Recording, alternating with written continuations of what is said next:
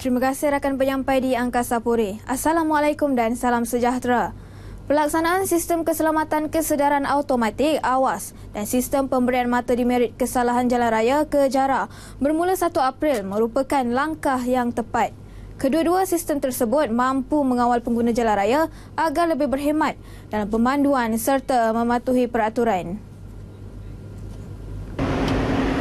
Pengarah Jabatan Keselamatan Jalan Raya JKJR Negeri, Maisara Ashraf Mustafa, sistem tersebut beroperasi 24 jam tanpa menggunakan tenaga manusia.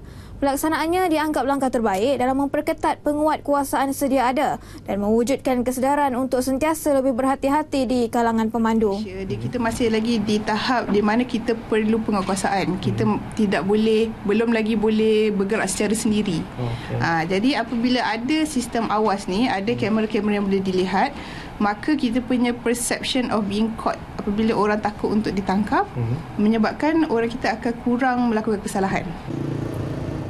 Awas dan kejara memberi tumpuan terhadap kesalahan lalu lintas utama seperti melanggar lampu isyarat serta memandu melebihi had laju dibenarkan. Selaku pihak yang bertanggungjawab melaksanakan advokasi berkaitan keselamatan jalan raya, JKJR Johor turut melaksanakan sesi soal jawab bersama pengguna jalan raya berkaitan pelaksanaan sistem tersebut. Sementara itu, kru RTM Johor mendapatkan maklum balas pengguna jalan raya berkaitan pelaksanaan sistem tersebut. Rata-rata yang ditemui bersetuju dengan pelaksanaannya bagi memastikan pengurangan jumlah kemalangan jalan raya.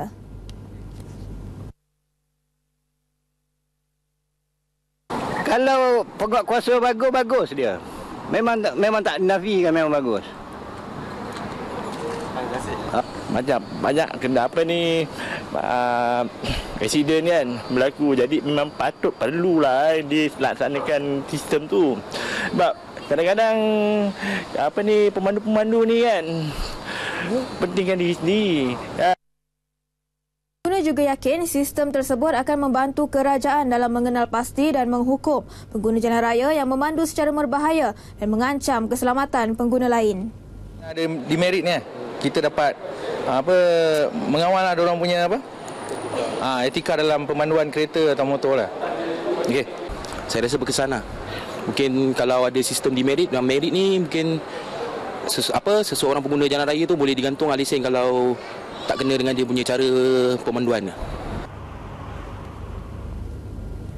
Hanya RM2. Harga serendah itu tidak setimpal dengan khidmat gunting rambut yang ditawarkan dari rumah ke rumah.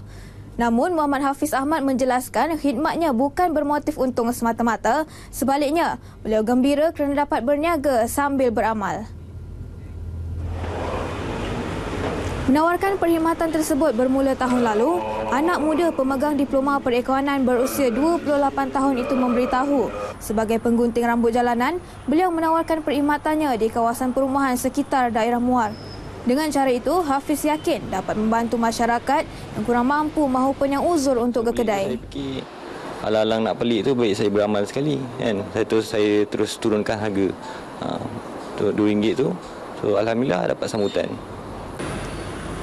Selain itu, Hafiz turut menggunting rambut secara percuma di surau atau masjid bertujuan menggalakkan lebih ramai umat Islam terutama golongan muda menziarahi masjid.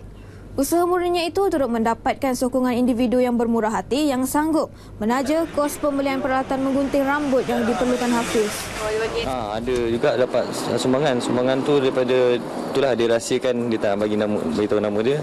Cuma dia minta nombor bank account, masa kita bagi dia bagi sejumlah duit untuk dia tanyalah untuk apa yang dia beli dia kata belilah untuk apa ni mesin mesin gunting rambut dia kata awak nak beramal kita pun nak beramal Sekian sahaja laporan berita dari Johor. Kembali ke Angkasa Puri.